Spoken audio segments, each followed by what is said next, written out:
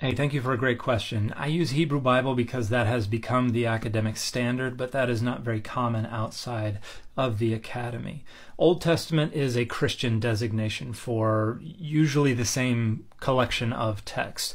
On the Jewish side, uh, my understanding is that Tanakh is the most common designation for the Jewish scriptures, and that would be an acronym that represents Torah, Nevi'im, Ketuvim, or law, prophets, and writings. Now, these two uh, corpora represent usually the same set of texts, but there are three main differences to them. One is translation. Uh, the Old Testament, when it is translated into English or other languages, is going to prioritize Christian interpretations of the text of the Old Testament. So, for instance, Isaiah 7:14, usually they're going to translate it virgin, or they're going to translate it in a way that is conducive to interpreting it as a prophecy about the virgin birth of Jesus.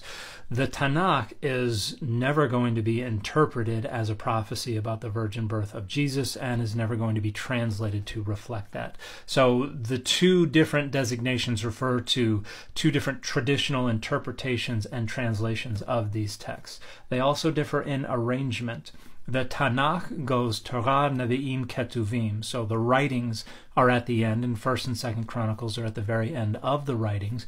And so the very last verse of the Tanakh is Cyrus's decree that Adonai has given me all the kingdoms of the earth and has appointed me to build a temple in Judah. And so anyone who wants to go up may go up and let them be blessed. And so this is talking about the return from exile. So the Tanakh concludes with this promise of return and this hope for restoration and a new temple. The Old Testament arranges the text differently. We still begin with the Pentateuch, but after the Pentateuch, things start to change.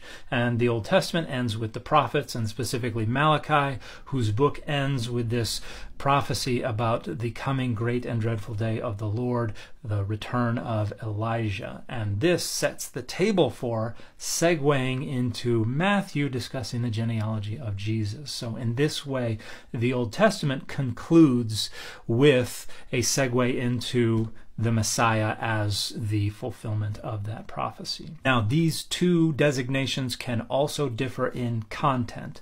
Not only do we have different Christian groups who have different sets of texts that they designate the Old Testament, but in the earliest periods of Christianity, the Septuagint was the authoritative edition of the Old Testament, the ancient Greek translation of the Old Testament. It was considered to be more original, more authoritative than the Hebrew. In fact, many early Christians accused Jewish people of removing the messianic stuff from their editions of the Hebrew Bible. The reality is that those messianic things were kind of interpreted in in the translation of the Hebrew Bible into Greek. If you want a good discussion about the role of the Septuagint in early Christianity, When God Spoke Greek by Timothy Michael Law is a wonderful discussion. And um, Timothy was my thesis supervisor when I was at the University of Oxford. He's a wonderful scholar and a wonderful person. We start to shift away from preference for the Greek translation around the year 400. Jerome starts talking about the Hebraica Veritas or the truth of the Hebrew.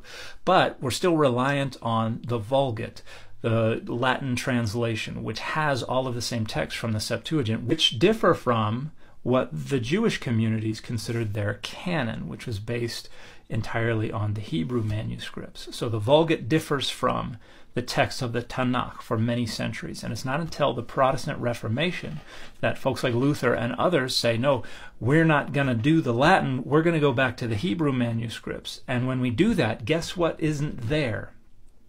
all the texts that we're now going to uh, cordon off and refer to as the Apocrypha.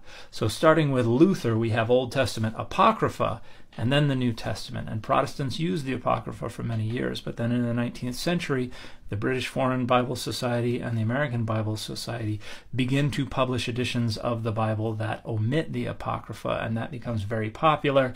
And by the end of the 19th century, it becomes the standard to omit the Apocrypha, and now Protestants don't consider the Apocrypha a part of the Bible. So the content of these two designations differs as well.